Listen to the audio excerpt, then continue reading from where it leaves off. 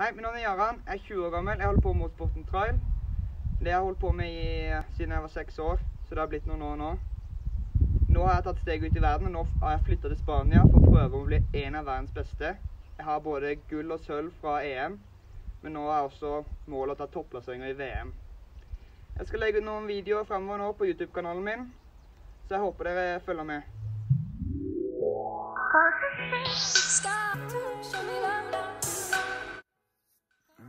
Klokka seks.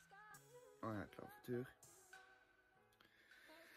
Bare for å lese bilen og komme til Kristiansand. Bilterminalen. Ja, jeg liker på båten går. Og derfor må vi slippe inn båten. Det er kanskje fem biler i dag. Så det blir nok ikke fullt, skal jeg si det.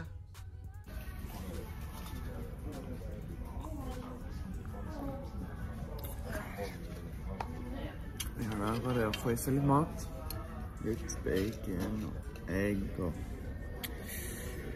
Nei, god mat på feia. Så er det åtte timer og ni timer i bil seinere.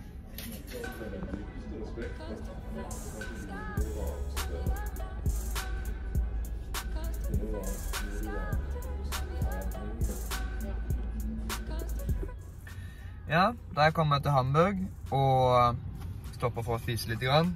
Skal eh, bare spise ferdig, og så skal jeg kjøre videre til noen kompiser som bor eh, et par timer unna her.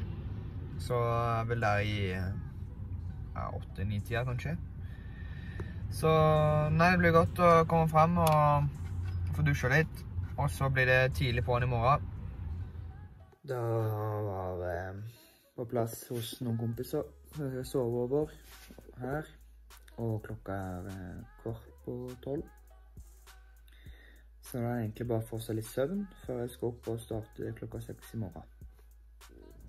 Ja, da starter vi dag to, og nå er klokka seks, og jeg skal kjøre fire timer til grensa til eh, Frankrike, og da skal jeg fylle diesel, og det er det første stopp i dag.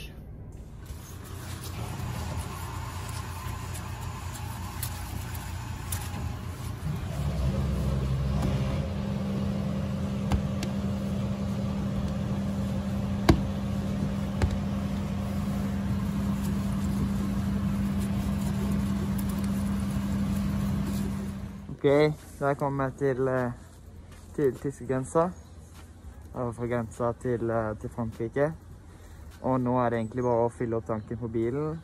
Ta og strekke litt på beina og ja, slappe litt, få bevege seg litt igjen før jeg skal kjøre videre. Ja, klokka er nå halv åtte, og jeg kommer helskinna til Spania.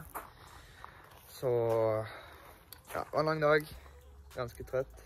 Så skal bare pakke, pakke ut av bilen og stå der. Og så skal jeg inn og få meg noe middag.